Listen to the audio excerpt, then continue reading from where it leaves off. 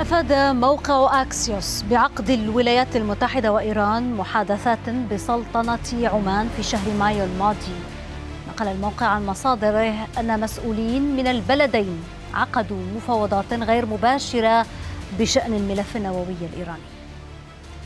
هذه المفاوضات تأتي في وقت يتزايد فيه الحديث عن اتفاق وشيك بين واشنطن وطهران رغم نفي كليهما الأمر. فهل تنجح مثل هذه اللقاءات في إحداث خرق في الملف النووي الإيراني؟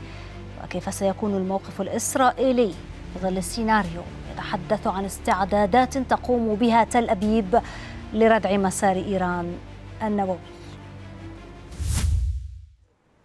الولايات المتحدة وإيران تخوضان محادثات مكثفة لم يكشف عن تفاصيلها الكاملة بعد.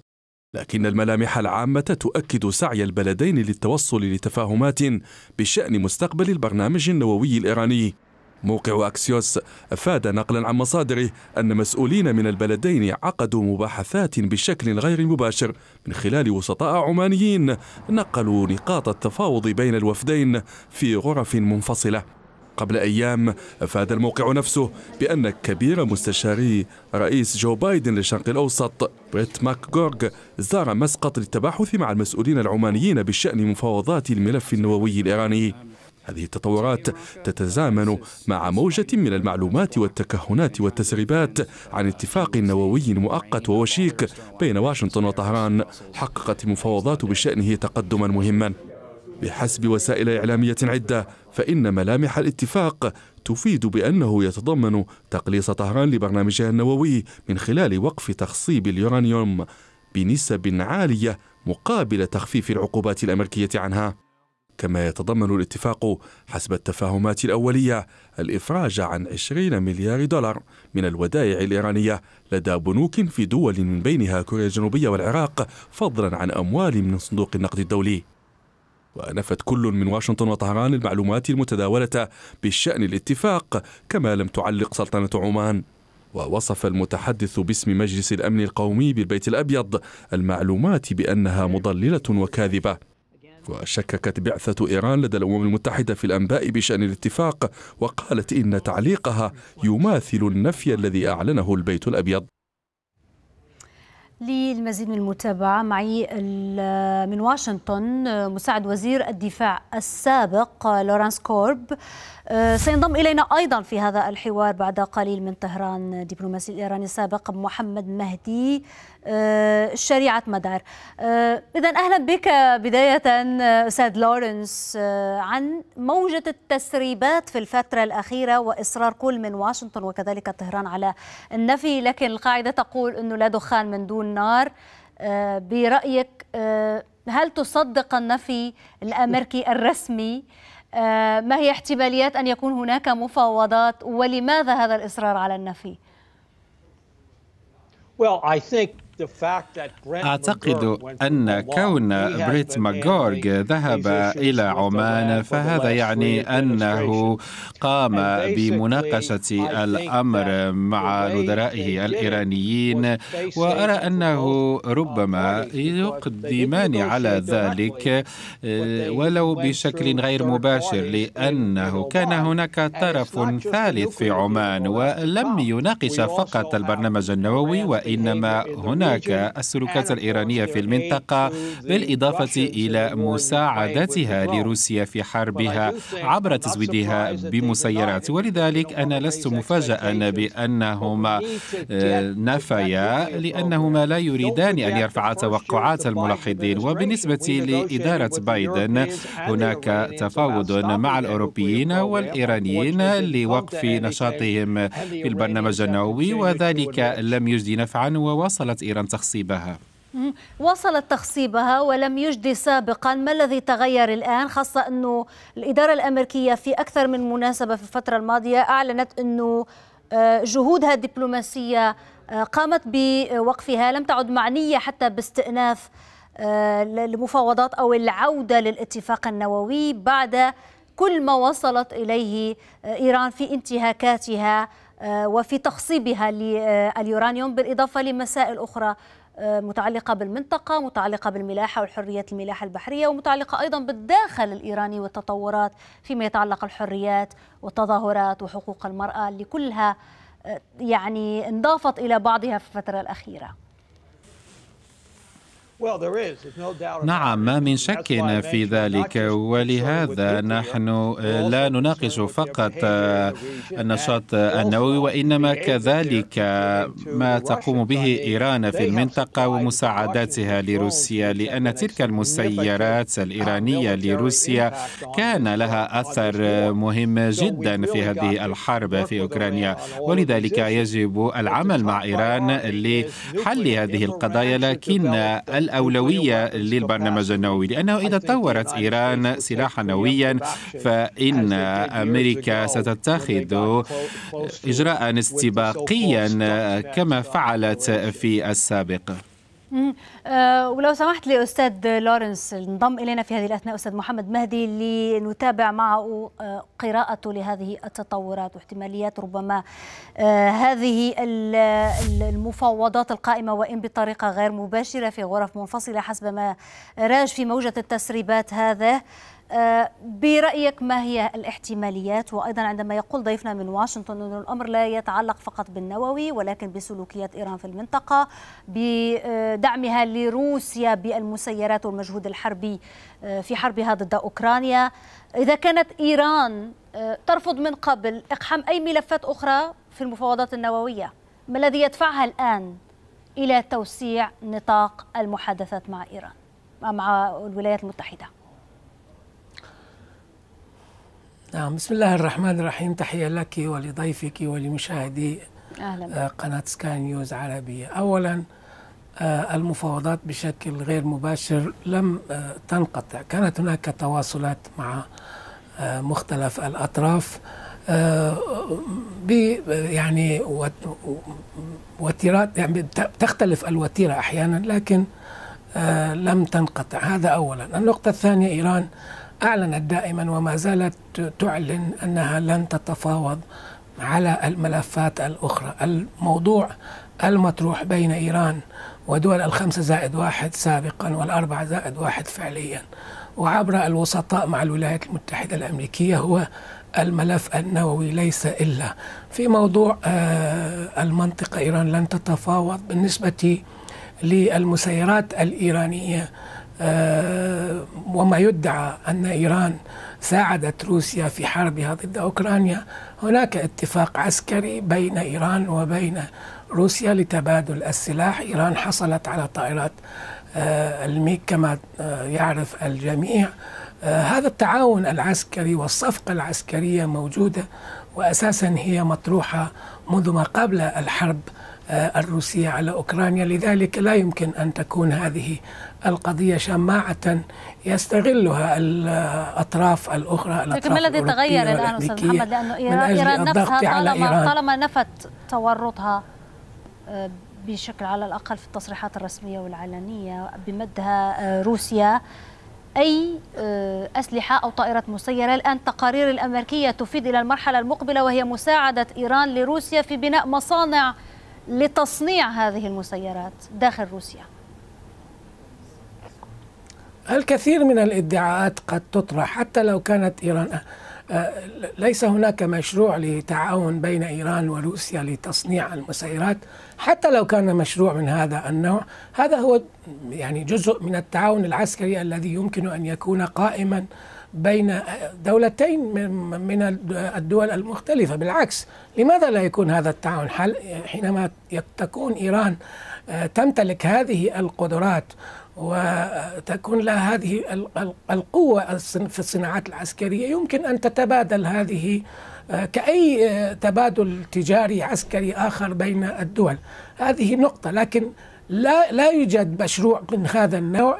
الولايات المتحدة الأمريكية تحاول أن تطرح هذه الأمور للضغط على إيران لأنها لم تتمكن من خلال الضغوط السابقة من أن تفرض رأيها على إيران. وإيران رفضت الموقف الأمريكي وتصر على العودة إلى الاتفاقية النووية بكامل التزامات الإدارة الأمريكية. لذلك الولايات المتحدة الأمريكية بما أنها فشلت في كل الضغوط والمقاطعة والحصار الاقتصادي المفروض المفروض على إيران من تحقيق أهدافها تحاول أن تجد أهدافا جديدة ليس إلا الولايات المتحدة الأمريكية هي اليوم بحاجة أكثر إلى الوصول إلى حل في الملف النووي الخطأ الذي ارتكبته الإدارة إدارة ترامب آه، في الخروج من من الاتفاقية النووية فسح المجال أمام إيران لتطوير مشروعها النووي الولايات المتحدة التي لم تكن تريد أن يكون لإيران أصلا مشروع نووي. اليوم إيران تخصب بنسبة 60% لها مئات والاف الكيلوات من من الكيلوغرامات من اليورانيوم المخصب بنسب متفاوتة. الولايات المتحدة الأمريكية كانت تضغط على أن لا تحتفظ إيران باليورانيوم المخصب في الداخل الإيراني وكانت تبحث عن دولة ثالثة لأن آه، يرسل اليورانيوم المخصب إلى ذلك. اليوم إيران عمليا آه، لها منشآتها لها أوجدت منشآت جديدة نسبة التخصيب ارتفعت نسبة آه، حجم اليورانيوم المخصب ارتفع وكل ذلك حصل بسبب الخطأ الأمريكي الذي ارتكبته إدارة ترامب. إذا كانت الإدارة الأمريكية تريد أن تستمر في أخطائها الاستراتيجية وتفسح المجال أكثر أمام إيران لأن تطور مشروعها النووي فهذا هو من خياراتها هي لها هذا الموضوع. هذا هذه النقاط كلها مهمة. أريد أن أخذ رأي أستاذ لارنس كورب فيها فيما يتعلق أنه هذه الخطوة من الجانب الأمريكي هل هي تنازل هل هي دليل فشل حقيقي أن الولايات المتحدة بكل عقوباتها بكل ضغوطها لم تتمكن من فرض شروطها. أيضا نقطة آه، آه، أشار إليها وأكد عليها ضيفنا من طهران وهي مسألة النووي ليس إلا لا مواضيع أخرى. وهذا موقف أيضا طهران طلبة تمسكت فيه. هل من شأنه أن يشكل عقبة أمام تحقيق أي اختراق؟ أعتقد أنه كان خطأ فادحا من الولايات المتحدة الأمريكية أن تخرج عن الاتفاق. وعندما كان ترامب يفكر في ذلك أنا قدمت شهادة في الكونغرس وقلت إنه كان اتفاقا جيدا وحال دون حيازة إيران سلاحا نوويا الذي يجب أن نفعله الآن هو أن نعتبر هذا أولوية. لكن أعتقد في الوقت نفسه أنه فيما يتعلق يتعلق بمساعدة إيران لروسيا. دعونا نستحضر أن هذا ليس قلقا من جانب أمريكا فقط وإنما هناك قرار من الأمم المتحدة يدين الغزو الروسي على أوكرانيا وهو غزو غير قانوني وأن الروس يخالفون قوانين الأمم المتحدة وقوانين الاشتباك والحرب. وبطبيعة الحال الأولوية يجب أن تظل الاتفاق النووي لأنه إذا لم يحل هذا الأمر فإن الأمر سيكون كارثين على الشرق الأوسط وعلى العالم وخصوصا إذا حازت إيران هذا السلاح. سيكون هناك سباق تسلح. ولكن أستاذ لورنس قبل أن أستعرض ربما النتائج التصويت في هذه النقطة احتماليات الاختراق برأيك وأيضا مسألة الضغوط حتى داخل التركيبة الأمريكية الداخلية وضغوط الكونغرس على الإدارة الأمريكية بعدم تقديم أي تنازلات وبعدم استئناف المفاوضات.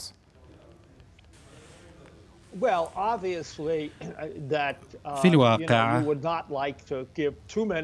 لا ترغب أمريكا في تقديم الكثير من التنازلات لكن يمكن أن تنجز شيئا ما لأنه إذا عدنا للاتفاق النووي فهو بطبيعة الحال لن يحتم العودة إلى موافقة الكونغرس. إذا ذهبنا إلى 2015 كان أوباما قد مرر الاتفاق دون العودة إلى الكونغرس وللأسف الشديد هذا سهل على ترامب.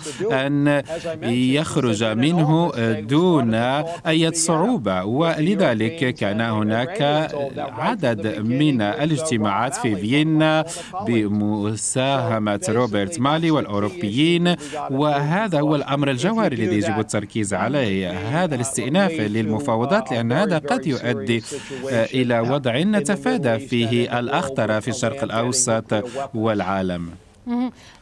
وقبل أن أتوجه لضيفي من طهران دعونا فقط نتوقف عند نتائج التصويت أه، حيث كنا قد طرحنا السؤال على حسابات سكاي نيوز عربية على تويتر وعلى وسائل التواصل الاجتماعي. سؤالنا كان هل تنجح المحادثات الإيرانية الأمريكية في تحقيق تقدم في الملف النووي الإيراني؟ 28% أه، فقط قالوا نعم أنه قد يحدث هناك اختراق لكن الأغلبية العظمى 72% قالوا لا وهنا سأعود إليك أستاذ محمد مهدي على ما يبدو أنه الأمال والرهانات على أي محادثات تبقى قليلة في تحقيق أي اختراق الجانب الأمريكي مصر على شروطه الجانب الإيراني كذلك مصر على شروطه. هذا يجعلنا نتساءل لماذا إذا العودة؟ ما هو بأي هدف العودة للتطقس للمفاوضات؟ وإن كانت بشكل غير مباشر علما أنه لا طرف يرغب حقيقة بتقديم التنازلات المطلوبة. وإيران تدرك الحسابات المعقدة في الداخل الأمريكي لجهة الكونغرس لجهة الضغط على الإدارة الأمريكية لجهة الانتخابات المقبلة أيضا. هل هناك من حل آخر؟ لا يوجد أي حل لهذا الملف إلا عبر التفاوض. وكلا الطرفين يعرفان جيدا بأنه هو الحل الوحيد وأنه ضرورة هذا الموقف. في إيران لا يريد أحد تنازلات من الإدارة الأمريكية مطلقا. إيران لا تريد تنازلات من الإدارة الأمريكية. تريد الالتزام بالاتفاقية التي تم توقيعها. وبما أن الولايات المتحدة الأمريكية هي التي تركت هذه الاتفاقية وخرجت منها الأمر الصحيح الموقف الصحيح هو أن تعود الأمور إلى مساراتها أن تعود الإدارة الأمريكية إلى هذه الاتفاقية بكامل التزاماتها وليس عبر الضغوط المختلفة لتغيير ولتخفيف ولتقليل هذه الالتزامات. لذلك إيران لا تريد من الإدارة الأمريكية مطلقا أي تنازلات تريد العودة إلى هذه الاتفاقية بكامل الالتزامات الأمريكية وعندها ستعود الأمور إلى مساراتها الطبيعية. وأتصور أنه لا يوجد أي حل آخر لهذا الملف غير لا ولكن يعني ولكن ما هو مطروح أستاذ محمد الآن والوصول. هو آه، حسب الاحتمالات وهذه التسريبات نتحدث عن معادلة تقليص البرنامج النووي واحتفاظه بال 60% من جانب إيران مقابل تخفيف العقوبات والإفراج عن جانب من الأموال في اتفاق مؤقت. هذا هو الحل المثالي؟ هذا حل مستدام؟ لن لن تقبل إيران وأعلنت ذلك لن تقبل إيران بحل مؤقت ولن تقبل بأنصاف الحلول ولن تقبل بإدخال الملف. هذا هو الموقف الرسمي الإيراني لحد الآن. ولن تتفاوض خارج ذلك لأن كل هذا يعني عشر سنوات أو 12 سنة من التفاوض أوصلتنا إلى هذا الاتفاق الذي اخترقته الإدارة الأمريكية. لذلك لما يعني لماذا تقبل إيران بالتفاوض من جديد؟ للوصول إلى اتفاق قد تخترقه الولايات المتحدة الأمريكية بهذه السهولة. إذا الحل الوحيد هو أن تلتزم الإدارة الأمريكية بهذه الاتفاقية وأن تعود إليها لأن هذا هو الطريق الوحيد لإعادة الثقة ولإعادة المسارات يعني الأمور إلى مساراتها الصحيحة. أستاذ لورنس الكرة في ملعب الولايات المتحدة أي الحلول مطروحة أكثر آه، واقعية خاصة عندما نتحدث أنه عن الاتفاق المؤقت؟ آه، هذا أمر أشارت إليه وسائل الإعلام الأمريكية وكذلك الإسرائيلية وهناك حتى يعني سيناريوهات تحضيرية إسرائيلية لهكذا سيناريو بينما إيران ترفض هذه المسألة وتدعو واشنطن للعودة للاتفاق الإطاري 2015 بالأساس الأمر الأسهل للعودة إلى الاتفاق هو العودة إلى اتفاق 2015 لكن لا ننسى أنه بعد خروج إيران بعد خروج أمريكا من هذا الاتفاق فإن إيران خصبت اليورانيوم بعتبات وسقوف أعلى بكثير مما كان متفقا عليه. وبالتالي على إيران أن تعود إلى ذلك المستوى الأول الذي بني الاتفاق عليه وهذه نقطة شائكة. لكن مع ذلك ذلك ليست هذه هي النقطة الجوهرية. هناك أشياء أخرى تثير الاختلاف لأنه إذا كان هناك سباق للتسلح في المنطقة في منطقة الشرق الأوسط فذلك سيكون خطيرا. لهذا يجب أن نعود إلى الاتفاق في أصله. وكان هناك مفاوضات ولكن كانت غير مجدية. الإيرانيون لم يتعاونوا مع روبرت مالي وهو كان جادا منذ بداية إدارة بايدن.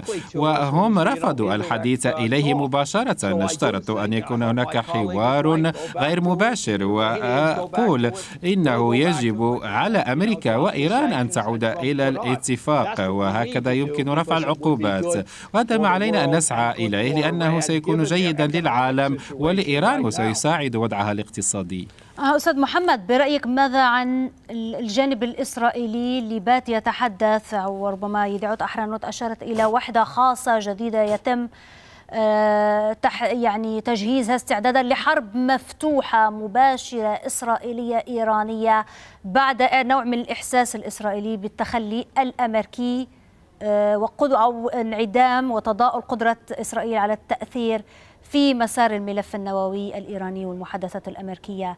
الإيرانية. ماذا هي فاعلة طهران إذا هكذا سيناريو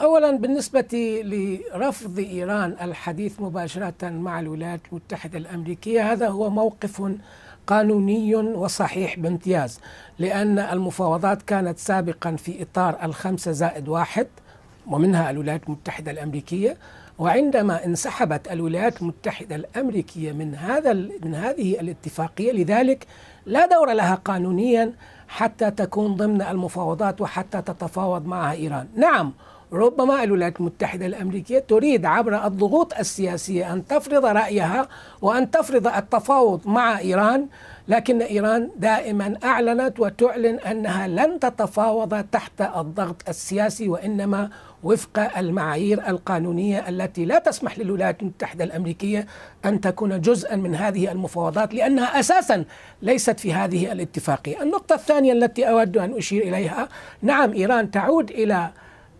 الاتفاقية بكامل التزاماتها. إن التزمت الولايات المتحدة الأمريكية بكامل التزاماتها ضمن الاتفاقية وطبعا أيضا ينبغي الحديث عن التعويض عن الخسائر التي تحملتها إيران من جراء الموقف والمبادرة الأمريكية، لا يمكن أن تكون هناك اتفاقية تحقق أهداف طرف دون طرف آخر، ولا يمكن أن تكون هناك اتفاقية يخترقها طرف ليكبد الطرف الآخر الخسائر ثم يطلب منه أن يعود واضح. بكل ارتياح وشرح صدر وسعة صدر. للأسف أما بالنسبة وقت. لإسرائيل أتصور أن الكيان الإسرائيلي عليه فعلا أن يواجه آه، مقاتلي حركتي حماس والجهاد الإسلامي ثم يتحدث بأكثر مما هو حجمه. طيب عموما للأسف انتهى وقتي. كان بودي يعني أن نستمر ربما في هذا النقاش وفي هذه النقطة أيضا وهذا التحول. لكن شكرا جزيلا لكما من طهران الدبلوماسي الإيراني السابق محمد مهدي شريعة مدار وأيضا من واشنطن مساعد وزير الدفاع السابق لورنس شكرا جزيلا.